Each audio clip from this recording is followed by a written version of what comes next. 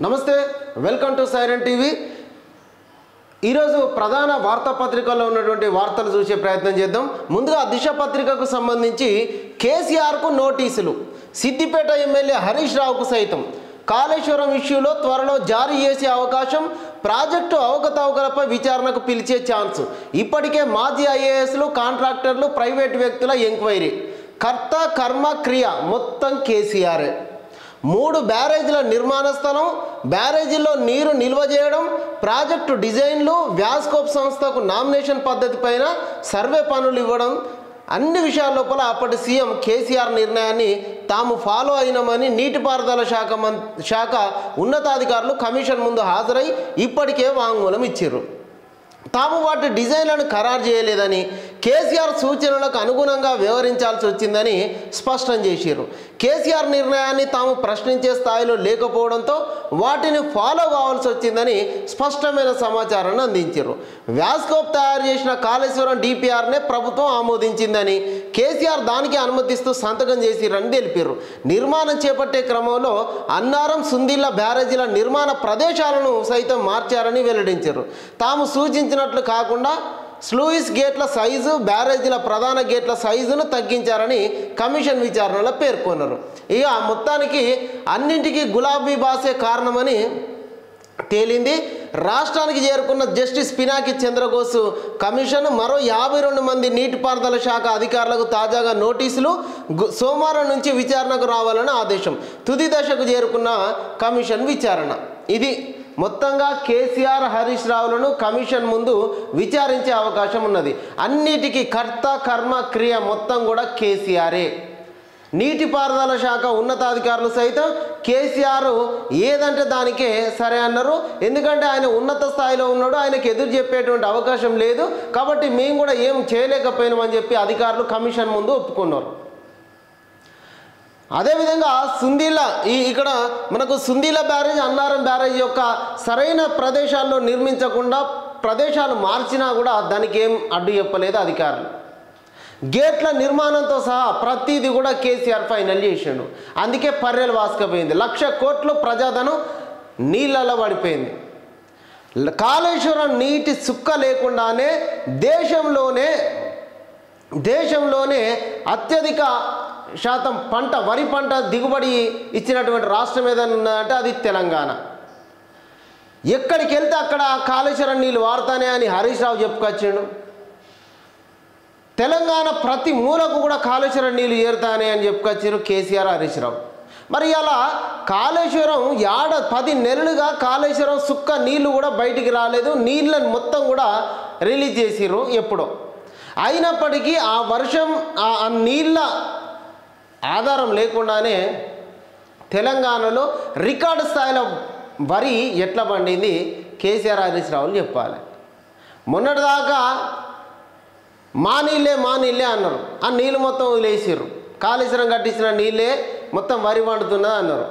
నీళ్ళు మొత్తం వదిలేసిన తర్వాత ఇప్పుడు మాట్లాడే పరిస్థితి లేదు.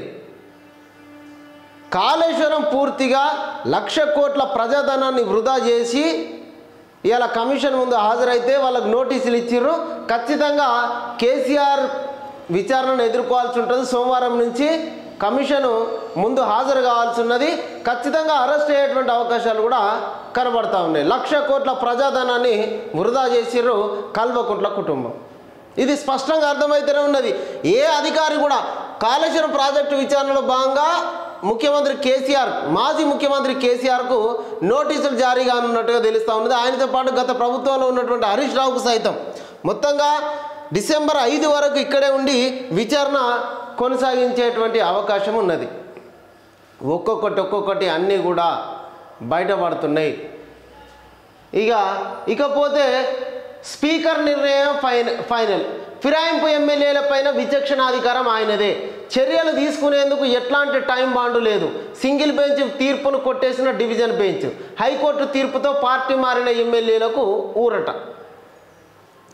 ఎంత వ్యత్యాసం ఉన్నదో చూడండి. స్పీకర్ నిర్ణయమే ఫైనల్ అని హైకోర్టు చెప్పేసింది. ఇది కాదని సుప్రీంకోర్టుకు పోయినా సుప్రీంకోర్టు కూడా స్పీకర్ నిర్ణయమే ఫైనల్ అని చెప్తుంది. సుప్రీంకోర్టును కాదని ఇంకా వాళ్ళు పై కోర్టు ఏదన్నా ఉంటే అంతర్జాతీయ కోర్టు లోపల వేసిన స్పీకర్ నిర్ణయమే ఫైనల్ అని చెప్పి చెప్తుంది. అయితే ఇక్కడ ఎంత దారుణం ఉన్నదో చూడండి. ప్రతిపక్షం ఉండకూడదని చేసినటువంటి కేసీఆర్ నిర్ణయానికి ప్రతిపక్ష నేతగా ఉన్న కేసీఆర్ అసెంబ్లీకి రా అని చెప్పి పిలవడానికి కేసీఆర్కు రేవంత్ రెడ్డికి ఎంత తేడా ఉన్నది చూడండి. ప్రతిపక్ష నేతగా గుర్తించి అసెంబ్లీకి రమ్మంటున్నాడు రేవంత్ రెడ్డి. అసలు ప్రతిపక్షమే ఉండొద్దు అని చెప్పి ప్రయత్నం చేసిన కేసీఆర్ ఎట్లాంటోడో అర్థం చేసుకోండి. మొదటిసారి ఎన్నికల్లో మొదటిసారి అధికారంలోకి వచ్చిన తర్వాత టీడీపీ వైఎస్ఆర్సిపి బిఎస్పి ఈ మూడు పార్టీలను బీఆర్ఎస్ పార్టీలో విలీనం చేసుకున్నాడు.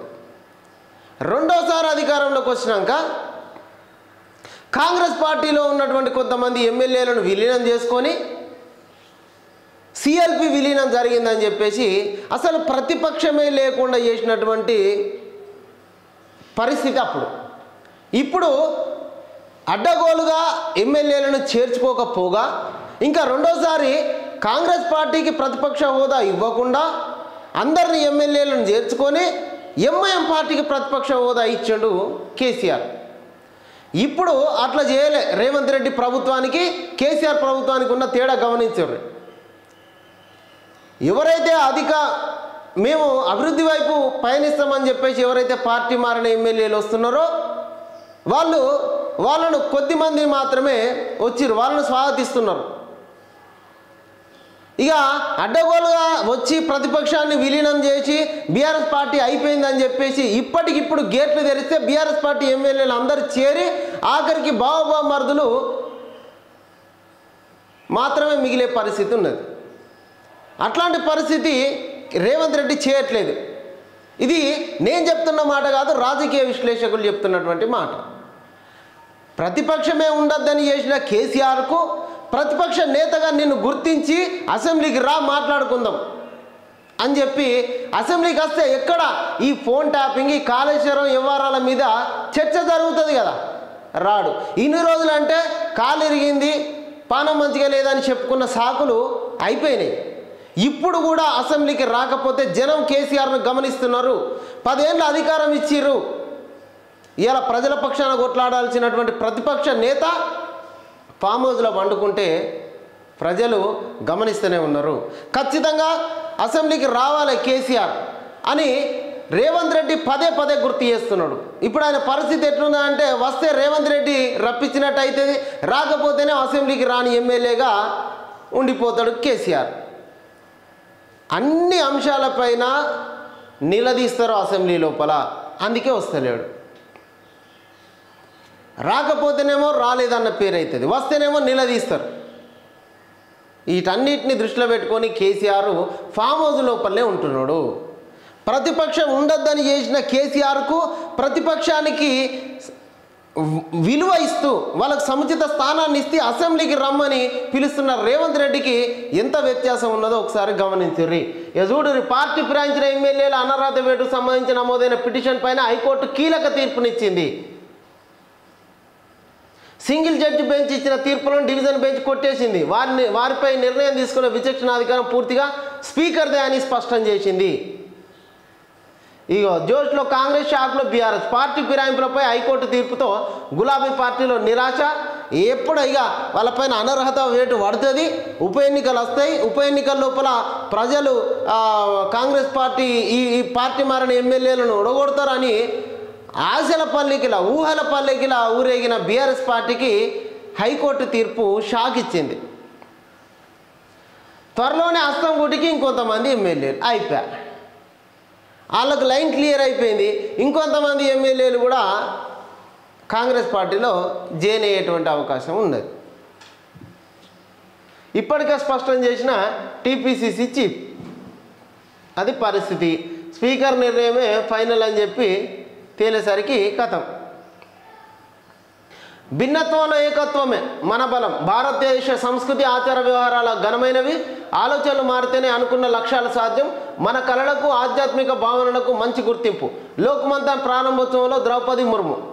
రైతుల ఖాతాల్లోకి బోనస్. ఇప్పటి వరకు ఎనభై కోట్లు జమ. ఐదు పాయింట్ ఒకటి నాలుగు లక్షల మెట్రిక్ టన్నుల సన్నధాన్యం కొనుగోలు ప్రభుత్వ సెంటర్లలోనే విక్రయిస్తున్న రైతులు. గత ఏడాది కన్నా పెరిగిన సాగు దిగుబడి. ఇక చూడురి యాభై నాలుగు వేల రెండు వందలు ఆ ఖాతాలో వేయబడ్డాయి. దీంట్లో బోనస్ రైతుల ఖాతా లోపల ఇవాళ ధాన్యం అమ్ముకుంటే రెండు రోజుల లోపల సన్నవడ్లకు బోనస్ ఇస్తున్నటువంటి పరిస్థితి ఇక్కడ చూడొచ్చు. రైతుల ఖాతా లోపల బోనస్ ఇస్తున్నారు. మనం నిన్న మొన్న వీడియోలలో చూడొచ్చు రైతుల ఆనందంతో మాకు బోనస్ పడ్డదని చెప్పేసి వాళ్ళ అకౌంట్లలో ఉన్న మొబైల్లో ఉన్నటువంటి ఆ మెసేజ్లను చూపిస్తున్నారు. ఐదు వందల రూపాయల బోనస్ ఏదైతే ఎన్నికల హామీలో చెప్పిర్రో ఐదు వందల రూపాయల బోనస్ ఇస్తామని చెప్పి చెప్పిర్రో దానికి అనుగుణంగానే రెండు రోజుల లోపలనే ఇటు డబ్బులతో పాటుగా ఆర్థిక శాఖ నుంచి బోనస్ కూడా వస్తున్నటువంటి పరిస్థితి. సివిల్ సప్లై నుంచి మొత్తం డబ్బులు ఆర్థిక శాఖ నుంచి బోనస్ వస్తున్నటువంటి పరిస్థితి ఇక్కడ చూడొచ్చు. రైతులు ఆనందంతో ఉన్నారు. ఇది చూడాలి బీఆర్ఎస్ పార్టీ కార్యకర్తలు. ఇది చూడాలి. రైతుల ఖాతా లోపలికి బోనస్ వచ్చి చేరుతున్నది. ఇక అదానితో ఒప్పందాలు రద్దు చేయాలి. ఏఐసిసికి తెలియకుండానే తెలంగాణలో అగ్రిమెంట్ జరిగిందా? అదానిపై రాహుల్ అవినీతి విమర్శలు. తెలంగాణలో మాత్రం రెడ్ కార్పెట్. అదానితో రాష్ట్ర ప్రభుత్వం చేసుకున్న ఒప్పందాలు రద్దు చేయాలని BRS working president KTR demand చేశారు. తెలంగాణ భవన్లో మీడియాతో మాట్లాడిన ఆయన అదాని అవినీతి పరుడని రాహుల్ గాంధీ విమర్శిస్తుంటే తెలంగాణలో మాత్రం కాంగ్రెస్ ప్రభుత్వం రెడ్ కార్పెట్ వేస్తున్నదని ఆరోపించారు. ఏఐసిసి పెద్దలకు తెలియకుండానే తెలంగాణలో అగ్రిమెంట్ జరిగిందా అని ప్రశ్నించారు. సరే ఇదొకటి. ఈ చట్ట ప్రకారం ఎవరు వ్యాపారం చేసినా ఓకే. అదానికి గుంట భూమి ఇయ్యలేదు. అని చెప్పి పీసీసీ చెప్తున్నాడు. స్కిల్ యూనివర్సిటీకి ఆయన వంద కోట్లు ఇచ్చిర్రు. కేటీఆర్ యాభై కోట్లు ఇచ్చినా కూడా తీసుకుంటామని చెప్పిండు మంచి ముచ్చట. చట్టరీత్యా ఎవరు వ్యాపారం చేసినా ఆమోదిస్తామని గతంలో గతంలో కేటీఆర్ అదాని కేసీఆర్ అదాని రాసుక పూసుకున్న వీడియోలు చక్కర్లు కొడుతున్నాయి. ఫోటోలు చక్కర్లు కొడుతున్నాయి. మీరు చేస్తే సంసారం వేరేటోళ్ళు చేస్తే వ్యభిచారం అన్నట్టుగా కేటీఆర్ మాట్లాడుతున్నాడు. ఇక్కడ పీసీసీ చీఫ్ చెప్పిండు స్కిల్ యూనివర్సిటీకి తన వంతుగా వంద కోట్ల రూపాయలు ఇచ్చిండు. తెలంగాణ అభివృద్ధి కోసం ఎవరు డబ్బులు ఇచ్చినా తీసుకుంటాము. ఇక్కడ అవినీతి పరుడైతే అదానికి గుంట భూమి కూడా మేము ఇవ్వలేదు. రాహుల్ గాంధీ విమర్శిస్తున్నాడు వాస్తవమే. కానీ ఇక్కడ ఆయన స్కిల్ యూనివర్సిటీకి సాయం చేస్తా అని వంద కోట్ల రూపాయలు ఇచ్చిండు. కేటీఆర్ నువ్వు కూడా యాభై కోట్లు తీసుకుంటాం అని చెప్పి సూపర్ ముచ్చడి చెప్పుకొచ్చిండు ఇది. పేరుతో రెండు వందల కోట్ల మోసం. ఆరు వందల మంది నుంచి వసూళ్ళు నాలుగేళ్ళైనా పడని పునాదులు ప్రశ్నిస్తే బాధితులకు బెదిరింపులు. ఆర్జీ హోమ్ చైర్మన్ డైరెక్టర్ల పైన సైబరాబాద్ పోలీసులకు ఫిర్యాదు. నర్సింగ్ అడ్మిషన్లలో చిక్కులు. మేనేజ్మెంట్ కోటా సీట్ల భర్తీకి మూడు రోజులు డెడ్ లైన్ ఉత్తర్వులు జారీ చేసిన కాలేజీ వర్సిటీ ప్రభుత్వ సర్కులర్పై వీసీ నిర్లక్ష్యం. ప్రైవేట్ నర్సింగ్ కాలేజీలకు కొత్త సమస్య. అది. గ్రూప్ ఫోర్ నియామకాలతో పూర్వ విఆర్ఓలకు కష్టాలు. కొత్తగా రిక్రూట్ రిక్రూట్ కోసం పోస్టులు ఖాళీ చేయించాలని లేఖలు. కొన్ని చోట్ల రికార్డ్ అసిస్టెంట్లుగా మారుస్తున్న అధికారులు శాశ్వత ఉద్యోగులైన నేటికి నిర్ధారణ కానీ సీనియారిటీ. కొత్త ఆర్ఓఆర్ చట్టం తెస్తేనే సమస్యకు పరిష్కారం. భూమాత గ్రామ రెవెన్యూ వ్యవస్థ ఏర్పాటుపైనే ఆశలు. ఖాళీ లేకున్నా నాన్ నాన్ సిఎస్ సోమేష్ నిర్వాహకంతో తిప్పలు.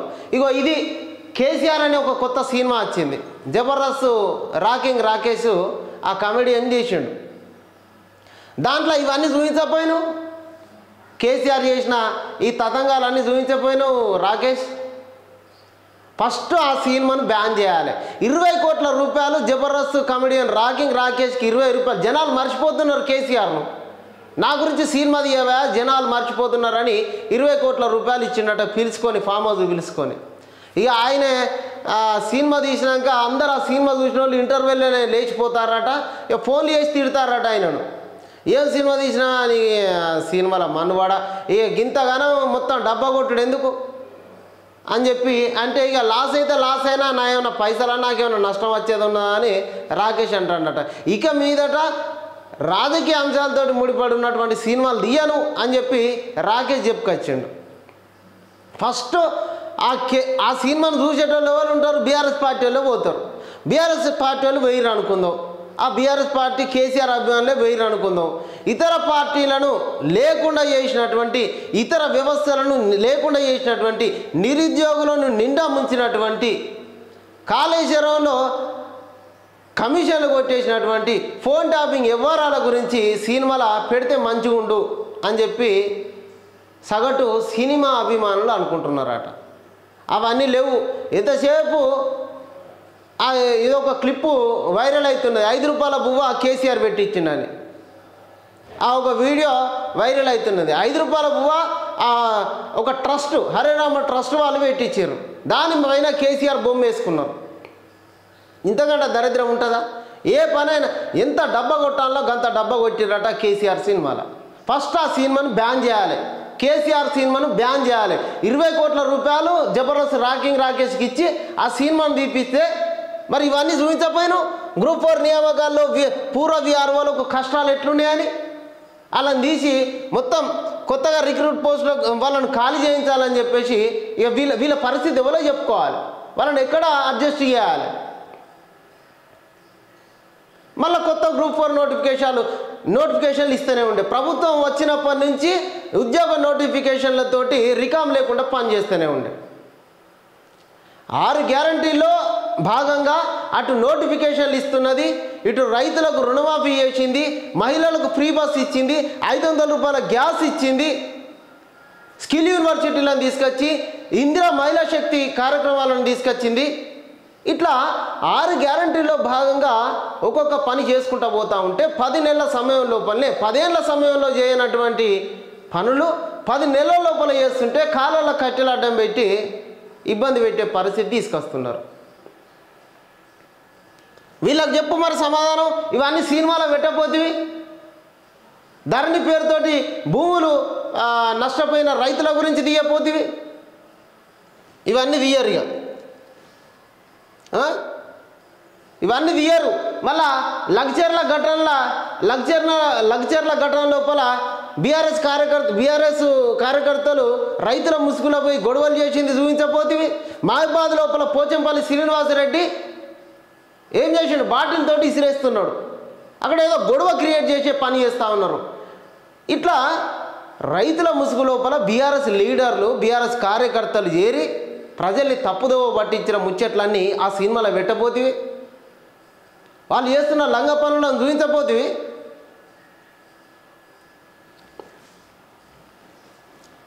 కరీంనగర్లో group four appointment orders. Youth public meeting వేదిక. ఈ నెల చివర లేదా వచ్చే నెల రెండు లోపు నిర్వహించేందుకు ప్లాన్ త్వరలో మహబూబ్ నగర్లో రైతు బహిరంగ సభ ప్రజా విజయోత్సవాల సందర్భంగా సర్కారు నిర్ణయం. సచివాలయంలో తెలంగాణ తల్లి విగ్రహ ఏర్పాట్లను పరిశీలిస్తున్న సీఎం రేవంత్. తెలంగాణ తల్లి విగ్రహం పదేళ్ళ సంధి గుర్తురాలే ఇప్పుడు పెడుతుంటే అడ్డగోలుగా విమర్శలు. తెలంగాణ జా అందశ్రీని అందశ్రీ రాసిన గీతాన్ని ఆ గేయాన్ని అవమానించి ఆయన రాసినట్టుగా పెట్టుకున్నారు. ఆ గేయానికి అధికారిక గేయంగా పదేళ్ళ సంధిది టైం దొరకలే గుర్తించడానికి. రేవంత్ రెడ్డి ప్రభుత్వం రాగానే గేయాన్ని అధికారిక గేయంగా చేస్తే దుమ్మెత్తి పోసారు ఆంధ్ర మ్యూజిక్ డైరెక్టర్ తోటి ఎట్లా మ్యూజిక్ కొట్టిస్తామని ఆంధ్ర అయ్యగారు చెప్పిండని యాదాద్రికి యాదగిరి గుట్టను యాదాద్రిని చేస్తుంది ఆంధ్ర అయ్యగారికి వేల కోట్ల భూములను అప్పగిస్తుంది ఆంధ్ర ఆర్ట్ డిజైనర్ తోటి యాదాద్రి యాదగిరి గుట్టను డిజైన్ చేపిస్తుంది వాళ్ళని తీసుకొచ్చి ఇక్కడ కాంట్రాక్టులు పెట్టుబడులు పెట్టిస్తే ఆంధ్రలో అప్పుడు గుర్తుకు రాలే. లేని రచ్చను క్రియేట్ చేయడంలో బీఆర్ఎస్ పార్టీ ముందు నుంచి ఉద్యమం నుంచి ఇదే గొడవలు స్టార్ట్ చేస్తూ ఉన్నది. ఐదు వేల రెండు వందల అరవై మంది ఐదు వేల రెండు వందల అరవై కోట్ల పెట్టుబడులు. ఫార్మా రంగంలో పన్నెండు వేల నాలుగు వందల తొంభై మందికి ఉద్యోగాలు. ప్రభుత్వంతో ఆరు కంపెనీల ఎంబోయు సీఎం రేవంత్ రెడ్డితో ఫార్మా ప్రతినిధుల భేటీ. ఇది ఫార్మా కంపెనీకి భూసేక ఎక్కడైనా ఎక్కడైనా వరంగల్ లోపల ఫా- ఫార్మా కంపెనీకి భూసేకరణ జరిగినప్పుడు ఎక్కడైనా కూడా రైతులు ఖచ్చితంగా ఏ భూమిని కోల్పోవడానికి ఏ రైతు సిద్ధ సిద్ధంగా ఉండడు. ఆ ప్రాంతంలో అభివృద్ధి జరగాలంటే ఖచ్చితంగా ఇట్లాంటివి జరిగితే ఆ రైతులకు నష్టపరిహారం ఇస్తారు. తగినంత నష్టపరిహారం ఇవ్వకపోతే రైతులు అడుగుతారు. గ్రామసభ వేదికగా రైతులు నిలదీస్తారు. అధికారులు వాళ్ళకు నచ్చ చెప్తారు. వాళ్ళకు తగినంత పరిహారం ఇస్తారు. ఇదంతా జరిగేది అంతే. కానీ కొడంగల్లో ఫార్మా కంపెనీకి భూసేకరణ విషయం లోపల లఘుచరణ లోపల కలెక్టరు అధికారులు పోయి అక్కడ వాళ్ళకు రైతు ప్రజావేదిక దగ్గరికి వెళ్ళి మాట్లాడుతుంటే గొడవ స్టార్ట్ చేశారు అభివృద్ధి జరగాలంటే ఖచ్చితంగా ఇట్లాంటి విధ్వంసం జరుగుతూనే ఉంటుంది. అది ప్రాజెక్టుల విషయంలో మల్లన్న సాగర్ ప్రాజెక్టుల విషయంలో జరగలేదా?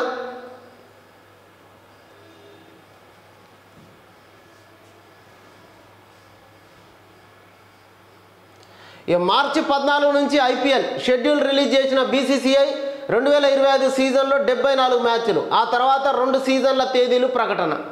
మూడో ప్రపంచ యుద్ధం మొదలైంది. ఉక్రెయిన్ మాజీ military commander in chief comment వార్లోకి ఉత్తర కొరియా ఎంట్రీ ఆందోళనకరమని వ్యాఖ్య. నిర్ణయాత్మక చర్యలు తీసుకోవాలని ఉక్రెయిన్ మిత్ర దేశాల విజ్ఞప్తి నేడు మహారాష్ట్ర జార్ఖండ్ ఎన్నికల ఫలితాలు. నలభై ఎనిమిది అసెంబ్లీ రెండు లోక్సభ బైపోల్ రిజల్ట్స్ సైతం. ఎన్డీఏ ఇన్ ఇండియా మధ్య హోరాహోరీ గెలుపుపై ఇరు కూటముల ధీమా. ఇక పది మంది మావోయిస్టుల మృతి ఛత్తీస్గఢ్లోని సుక్మా జిల్లాలో భారీ ఎన్కౌంటర్ ఏక ఫార్టీ సెవెన్ సహా పలు ఆయుధాల స్వాధీనం మృతుల్లో ముగ్గురు మహిళలు. ఆ ఇంటింటి సర్వే కోటి కుటుంబాలు. ఎనిమిది జిల్లాల్లో దాదాపుగా వంద శాతం కంప్లీట్ నెలాఖరులోగా మిగతా జిల్లాల్లోనూ పూర్తి. పదిహేడు రోజుల్లోనే పూర్తి చేసిన ప్రభుత్వం.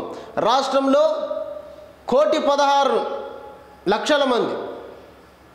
కుటుంబాలు ఉన్నట్టుగా ఒక కోటి కుటుంబాలు ఉన్నట్టుగా సర్వే పూర్తి అయిపోయింది రాష్ట్ర ప్రభుత్వం ప్రతిష్టాత్మకంగా చేపట్టినటువంటి ఇంటింటి సర్వే లోపల బలహీన వర్గాలకు దక్కాల్సినటువంటి ఫలాల గురించి ఈ రిజర్వేషన్లు బీసీలకు దక్కాల్సినటువంటి రిజర్వేషన్ల గురించి బలహీన వర్గాలకు దక్కాల్సినటువంటి ఆర్థిక అంశాలు సామాజిక అంశాలు రాజకీయ అంశాల గురించి చేస్తున్న ఈ సర్వే దేశానికి దిక్సూచిగా ఉండబోతున్నట్టుగా కాంగ్రెస్ పార్టీ ఈ సర్వేని చేపట్టింది.